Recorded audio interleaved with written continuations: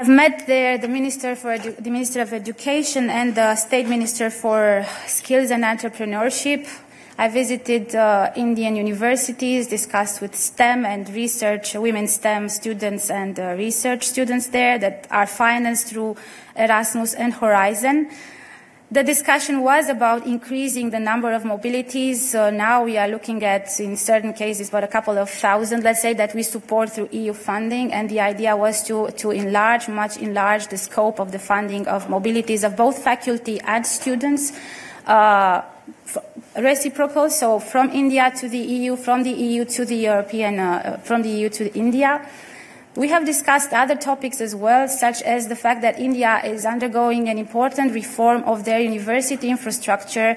Um, they have a huge young population that uh, is, uh, let's say, eligible to, to uh, for, for university, for higher education, but they do not have enough infrastructure available, faculty available. They are investing in it, but they also invited European universities to open campuses in India uh, and to, to invest in, in, in their uh, infrastructure. We discussed joint degrees. We discussed the project that is ongoing, led by European International uh, Labour Organization, on the uh, mutual understanding of the skills uh, of the qualification reference framework as, it's, uh, as it means, or the defi- definition of skills in India and the European Union, so that we might at some point uh, reach mutual recognition uh, uh, as it would be very useful.